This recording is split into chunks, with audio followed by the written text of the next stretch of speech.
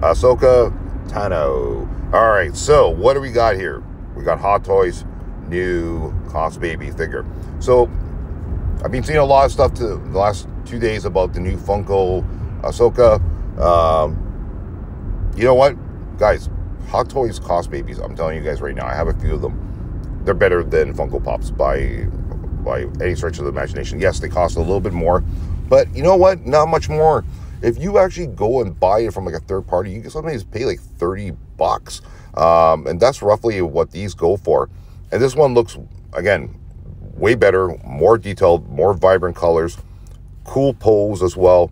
Um, I would would recommend going with this one over the Funko Pops, no doubt about it. Where can you get these? Usually places like Toys Wonderland carry them. Um, Anime Export will carry them. You would just have to type it in, right? And sometimes Big Bad Toy Store does get them, but they never, they don't get the full slate of the Cos Babies from Hot Toys.